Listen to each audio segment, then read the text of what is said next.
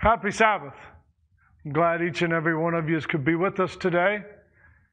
We are looking for a wonderful blessing that the Lord has for us in His Word today. First, I want to encourage those, if you haven't already, uh, online giving, fredericktownsda.com slash giving. Or you could also do the mailing address, P.O. Box 348, Attention Treasurer, of course, at, and that is in Fredericktown, Ohio, 43019. Want to go into the praises and prayer requests. We want to thank the Lord for watching over and guiding each and every one of us, especially those that have been dealing with the COVID 19. We want to update you with Maynard. Maynard is doing better. I guess he's at, at home now. He is enjoying things at home. They did not have to do any major thing. So I guess as from as far as I know, his, his uh, heart did start to get back to rhythm, whatever all those particulars are. Uh, remember George, Andrea's co-worker that has a blood clot are COVID 19 people that are, uh, that are dealing with that, including our first responders, giving thanks and praise to the Lord for allowing them the wisdom and knowledge to be able to help in every single case that they have. The tornado victims, I guess there were some tornadoes recently. Keep Craig and Melissa in prayer. Next week, this following week coming up, they're to have a baby soon. We want to uh, keep Tyrone in your prayers, along with Beth. Both have cancer. We also have Tom and Maynard and others. Uh, Tyrone had COVID 19 and he was able to be healed from that. Continue to remember Lanny's having more pain in with his knee. Evelyn wasn't feeling well today. She's feeling a little better, but she asked for prayers. And I also want to ask for prayers for the Kajiado that's in Kenya, where I just got back from. The school and the rescue center there. I want to praise the Lord that we were able to get things accomplished, get the boys' dorms finished, part of the restrooms. But the wonderful blessing on top of that was 47 baptisms and 16 confirmed with studies and more baptisms to come. So praise the Lord for that. Today we're going to study and continue looking at the bridegroom in Matthew chapter 25. Now, each and every one of us have read this time and time again. So, a lot of this is going to be, uh, we're going to be going over it again, but hopefully, the Lord's going to bring some more insight into us. We can parallel and put some things together and help us to understand that it is very important that we have a personal relationship with Jesus Christ. Now, before I begin, let us have a word of prayer. Dear gracious, loving Heavenly Father, we thank you for all of these people that you've kept them safe. We've got many others that are sick and ill, and we pray that you would watch over them, each and every one of them. But most importantly, I pray, dear Heavenly Father, for the eternal salvation that is what this is all about. That's what we're here on earth for. And I pray, dear Heavenly Father, that you would be with each and every one of us mightily. I pray, dear Heavenly Father, that as I begin the, the sermon of your words, that you would help me to speak your words, that you would help to keep my mind clear and focused, and that everything that I say would be acceptable in your eyes. In Jesus' name we pray. Amen. Again, like I'd mentioned, we're going to go into Matthew chapter 25. And first, we're going to read chapters 1 through 13. Then the kingdom of heaven shall be likened unto ten virgins who took their lamps and went out to meet the, broom, the bridegroom. Now, five of them were wise and five were foolish. Those who were foolish took their lamps and took no oil with them. but the wise took oil in their vessels and their lamps. But while the bridegroom delayed, they all slumbered and slept. And at midnight a cry was heard Behold, the bridegroom comes, go out and meet him. Then all the virgins arose and trimmed their lamps. And the foolish said to the wise, Give us some of your oil, for our lamps are going out. But the wise answered, saying, No, lest there should not be enough for us and you, but go rather to those who sell and buy for yourself. Verse 10 While they went to buy, the bridegroom came, and those who were ready went in with him to the wedding, and the door was shut. Afterwards, the virgins came also, saying, Lord, Lord, open. Open to us. But he answered and said, Assuredly, I say to you, I do not know you. Watch therefore, for you know neither the day nor the hour in which the Son of Man is to come. As I'd mentioned, we're going to look in parallel with the scripture, with some of the spirit of prophecy to help us to give more information of what the Lord has for us and how we can truly understand this parable. As we begin, let us remember that in many parts of the East, the wedding feasts were held in the evening. The bridegroom goes forth to meet the bride to bring him or to bring her to his home. By torchlight, the bridal party proceeds from her father's house to his own. There is a feast provided for the invited guests. In the scene upon which Christ looks, a company are waiting to appear, waiting the appearance of the bridal party, intending to join the procession. Lingering near the bride's house are ten young women robed in white. Each carries a light, lighted lamp and some flagon of oil. All are anxiously waiting for the appearance of the bridegroom. But there is a delay. Hour after hour passes, the watchers become weary and fall asleep. At a midnight cry is heard Behold, the bridegroom cometh. Go ye out to meet the, him.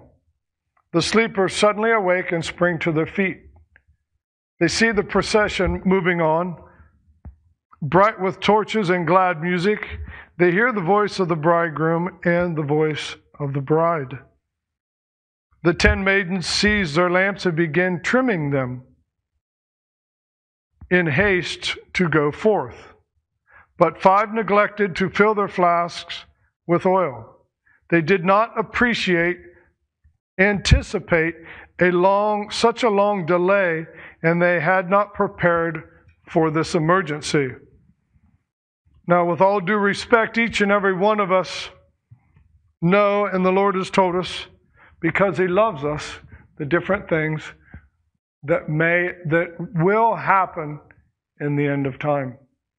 Now, I'm not here to predict which day, which time. We know only the Father knows that. But we have been given through Scripture different statements to give us an idea of where we are at in Earth's history. If we look at verse 2, a couple interesting notes. We look at, verse 2, it says, Now five of them were wise and five were foolish. If we look at the Greek word coming from uh, the number 5429, which means intelligent, thoughtful, discreet, and implying a cautious characteristic.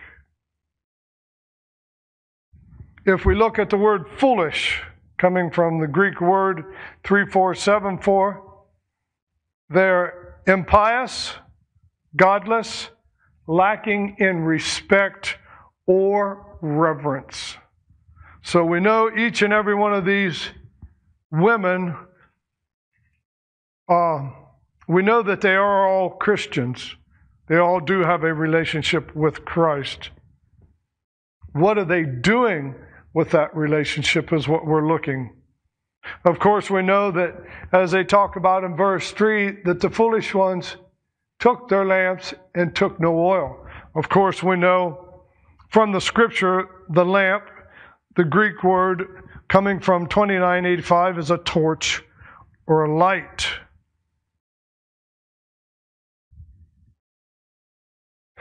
We remember seeing in verse 12, the master of the feast declared, I know you not. Those are some serious words, and words that each and every one of us, none of us want to hear. We all should hope and pray for those words, well done, good and faithful servant. Let us look at the scripture for a couple texts of the lamp. Of course, the one that each and every one of us know the most is Psalms 119. So if we turn to Psalms 119 and 119, 105, Psalms 119, 105.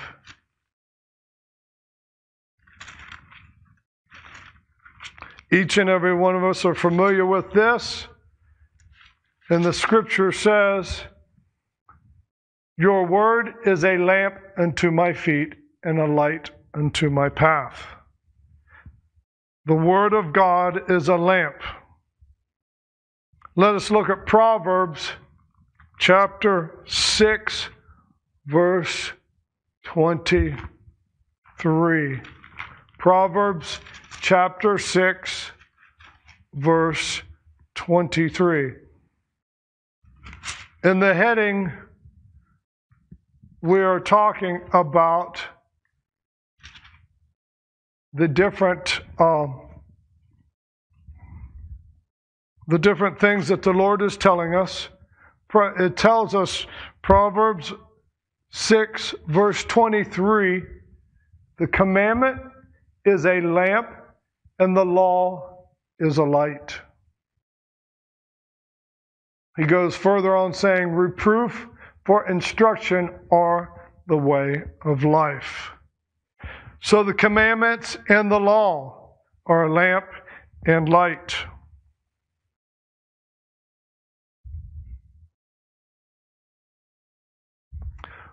By the lamps, it's represented, as we saw from the Word of God, they're represented as God's Word. The oil is a symbol of the Holy Spirit. Each and every one of us are aware of that through our scripture reading.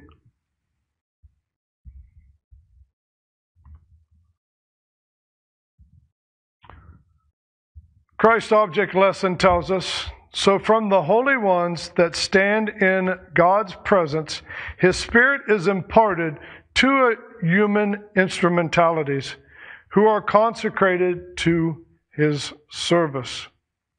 The mission of two anointed one is to communicate to God's people that heavenly grace which alone can make his word a light lamp unto our feet and a light unto the path. In the parable, all the ten virgins went out to meet the bridegroom. All the lamps and the all had lamps and vessels for oil. For a time there was seen no difference between them. So with the church that lives just before Christ's second coming. All have the knowledge of Scripture. All have heard the message of Christ's near approaching and confidently expect his appearing. But as in the parable, and so as now, a time of waiting intervenes. Faith is tried. And when the cry is heard, Behold, the bridegroom cometh, ye go out to meet him. Many are unready. They have no oil in their vessels with their lamps. They are destitute of the Holy Spirit. You hear those words? They are destitute of the Holy Spirit. She goes further on saying, without the Holy Spirit of God, a knowledge of His Word is of no avail. The theory of truth, unaccompanied by the Holy Spirit, cannot quicken the soul or sanctify the heart. One may be familiar with the commandments and the promises of the Bible, but unless the Spirit of God sets the truth home, the character will not be transformed. Without the enlightenment of the Holy Spirit, men will not be able to distinguish truth from error. And they will fall under the masterful temptations of Satan. We must be very careful, brothers and sisters. We need to study the scripture daily. We need to be about the Father's business. He will take care of those that are about His business. I had the opportunity to go to Kenya, and while we were there, being about the Father's business, He protected us. We didn't have any trouble with this corona that's going around. We were blessed over abundantly, as I had mentioned. We had 47 baptisms. Praise the Lord. And I praise the Lord for each and every individual that heard that still small voice. And they went ahead and did what the Heavenly Father had asked them to do, as each and every one of us should do. There's a reason why it's called a still small voice. We must listen intently, and when we hear that, we must act upon it.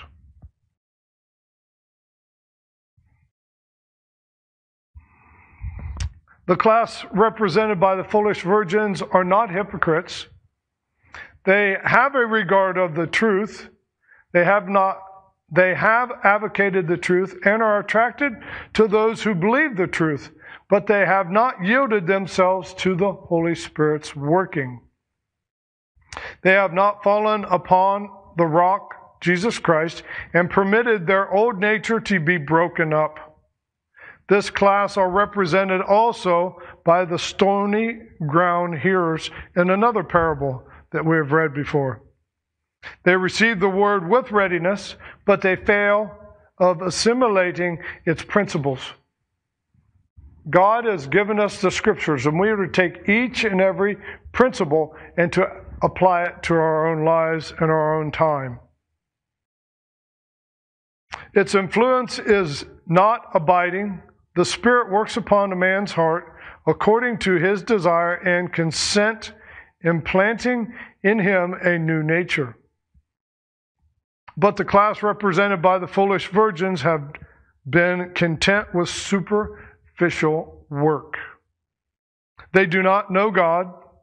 They have not studied his character. They have not yielded communion with Him. Therefore, they do not know how to trust, how to look, or even how to live.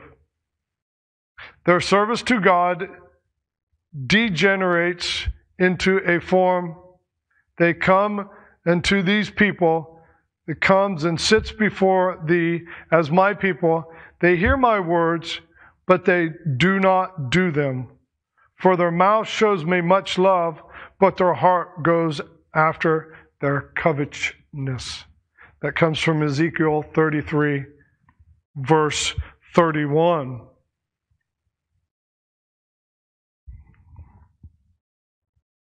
In the signs of time, we're told the solemn fate of the five foolish virgins presented in the parable of the ten virgins is recorded to warn those who, while professing the faith of Christ, have become cold and backslidden.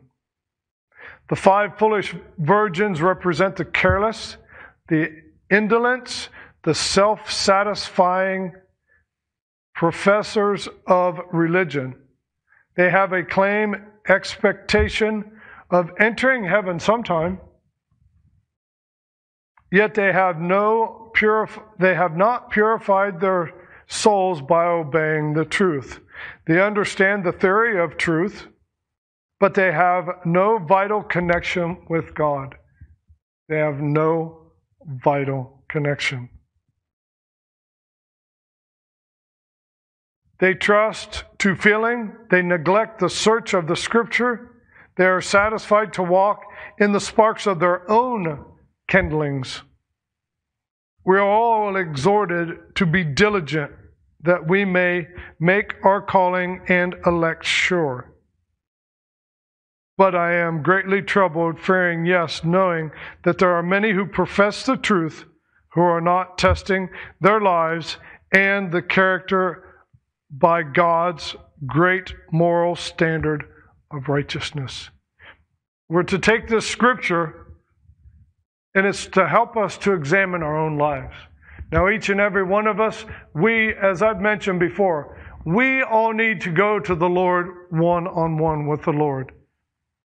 Ask Him, as David did, create in me a pure and clean heart, a right spirit, but to show me anything that is unclean or anything that I have done wrong. And with our abilities, the best we can with the Lord, we're to go out and do and make the wrongs right, if possible. Let us turn to 2 Timothy. We'll go to 2 Timothy chapter 3.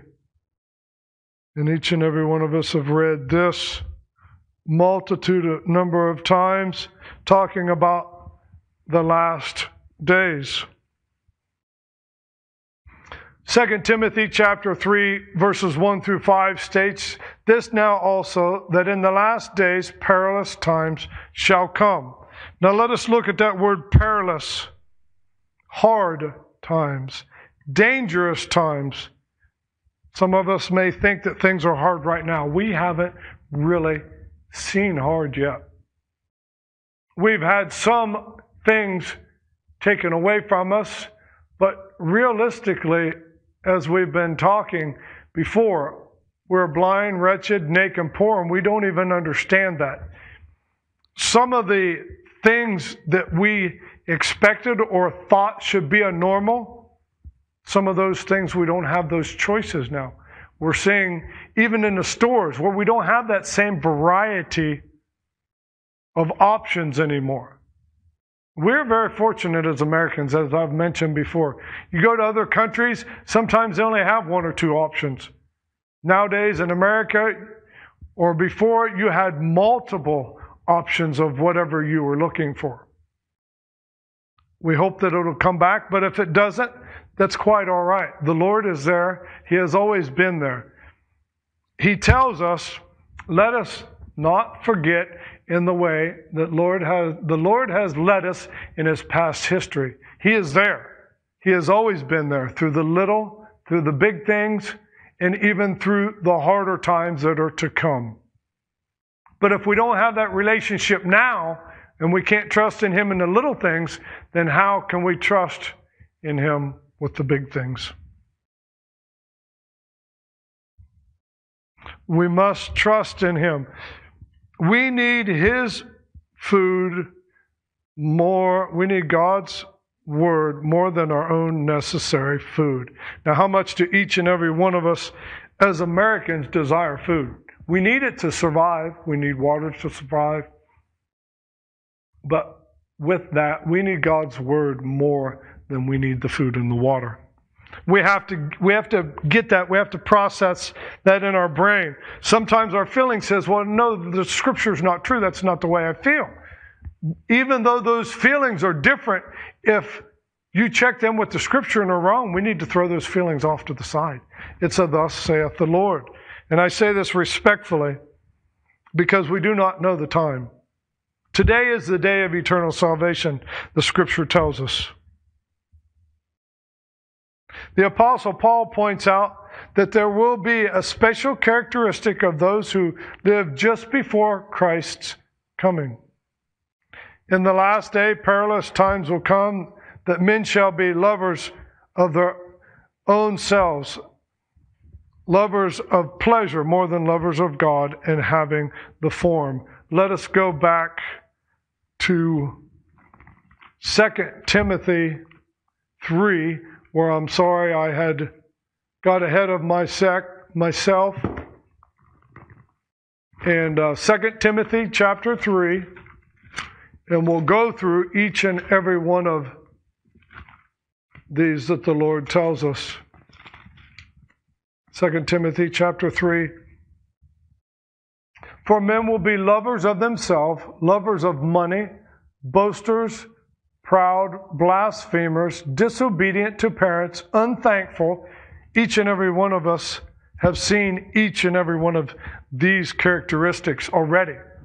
Unholy, unloving, unforgiving, slanderers, without self control, brutal, despisers of good, continually see all of this through the chaos in the world. Traitors, headstrong, haughty, lovers of pleasure rather than lovers of God, having the form of godliness, but denying its power. From such turn away. When startled from their lethargy, they discern that the destitute and entreat others to supply their lack. But in spiritual things, no man can make up another man's deficiency. We have to get that and learn that from and by ourselves. The message of the gospel has been heralded. Let him that athirst come and let who, him whoever will let him take of the water of life freely. But the character is not transferable. No man can believe for another. No man can receive the Spirit for another. No man can even impart another the character which is the fruit of the Spirit's working. Each and every one of us can do a self examination on where our characters are. In a very difficult crisis, how do we react? That can pretty much, that helps me sometimes when I get in a stressful situation.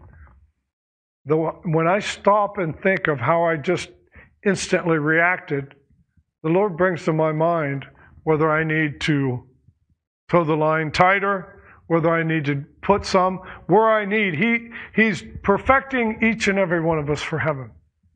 And there are these little things that He helps us to see where we fault and where we need to give more to Him. Now, I don't claim to be sinless. Actually, I feel like a lot of times that I'm worse than Paul. But each and every one of us we have all sinned. We all fall short of the glory of God.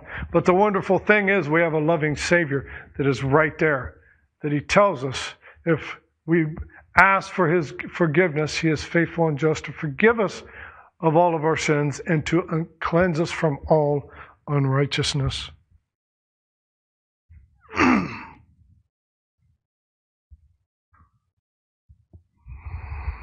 The saddest words that ever fell on mortal eyes are those words of doom I knew you not. We can't afford to hear those words. It's not an option. Let us look over at Luke chapter 13. Luke chapter 13. Luke chapter 13, starting in verse 24 talking, my heading says the narrow way. Starting in verse 24, these are Jesus' words written in red. Strive to enter through the narrow gate, for many, I say to you, will seek to enter and will not be able. When a master of the house was risen up and shut the door, he began to stand outside and knock at the door, saying, Lord, Lord, open for us. And he will answer and say, I do not know you, where you come from. And then, then you will begin to say, We ate and drank in your presence, and you taught in our streets. But he will say, I tell you, I do not know you. Where you are for, from, depart from me, all you workers of iniquity. We must be very careful. We must search daily. We must look deeper and deeper in God's Word and then correct our own characters according to God's character. It is the darkest, it is the darkness of misapprehension of God that is enshrouding the world. The last rays of merciful light, the last message of mercy to be given to the world, is a revelation of the character of God's love. The children of God are manifested his, to manifest His glory in their own life and character and are to reveal that the grace of God has done to them. The light of the Sun of Righteousness is to shine forth in good works, in words of truth and deeds of holiness.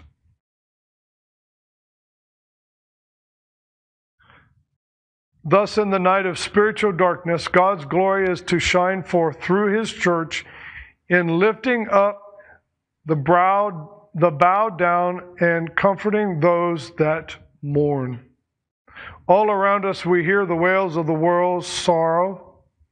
In every hand, there are needy and distressed. It is ours to aid in relieving and softening life's hardships and misery. Practical work will have far more an effect than mere sermonizing. We are to give food to the hungry, clothe the naked, shelter the homeless. We are to call, we are called to do more than this. The wants of the soul, only the love of Christ can satisfy.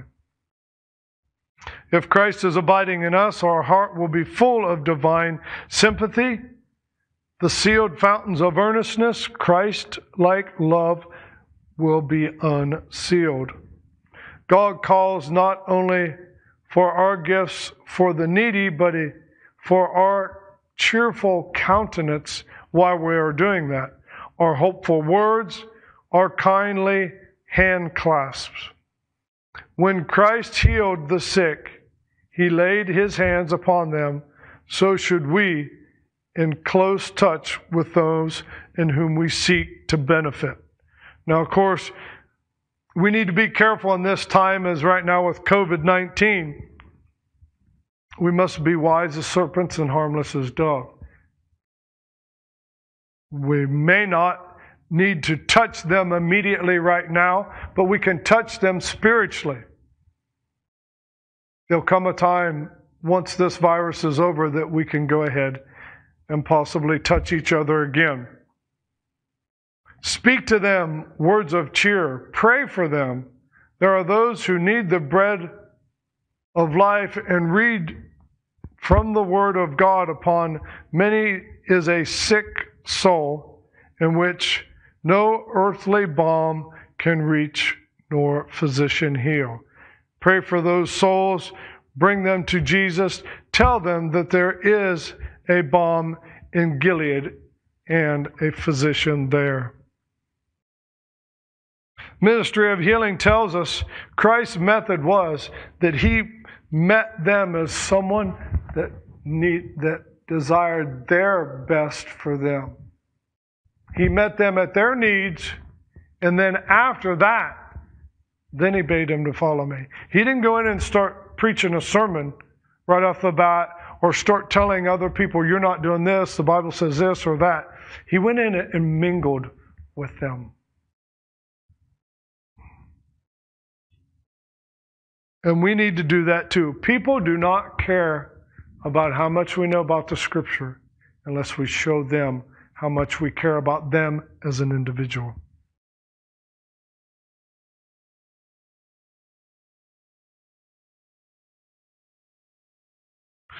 It is the love of God continually transferred to men that enables him to impart the light. If all were willing to receive, all would be filled with the Holy Spirit.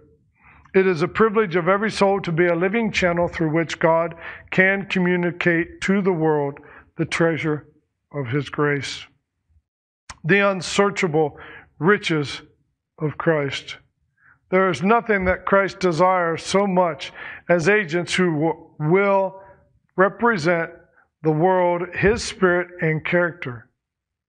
There is nothing in the world that the world needs as much as a manifestation through humanity of the Savior's love. All heaven is waiting for channels through which can be poured the holy oil to be a joy and a blessing to human hearts. And uh, one last statement from Christ Object Lessons, page 69.